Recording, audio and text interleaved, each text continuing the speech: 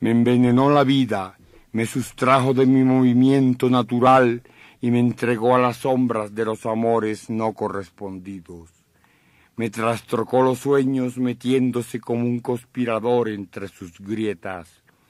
Desempolvó recuerdos que hablaban de partidas y de adioses.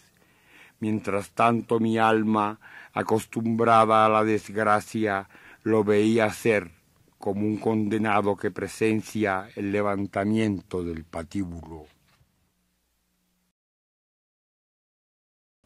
Instantáneo relámpago tu aparición, te asomas súbitamente en un vértigo de fuego y música por donde desapareces. Deslumbras mis ojos y quedas en el aire.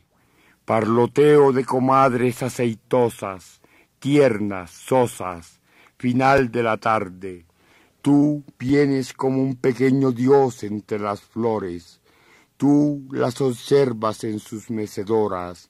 Sol que muere, Dios que pasa, mirada que enamora. Ellas dicen un adiós hacia las dalias enamoradas. Yo que te espero al otro lado de mí, sonrío al verte caminar sobre las aguas del cuerpo mío. La locura espanta el tedio como el viento espanta nubes. Ven, oh sagrada locura, y llévame al reino de tu fantasía. Si quisieras oír lo que me digo en la almohada, el rubor de tu rostro sería la recompensa.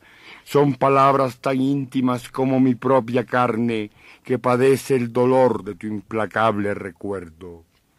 Te cuento, sí, no te vengarás un día, me digo. Besaría esa boca lentamente hasta volverla roja y en tu sexo el milagro de una mano que baja en el momento más inesperado y como por azar lo toca con ese fervor que inspira lo sagrado.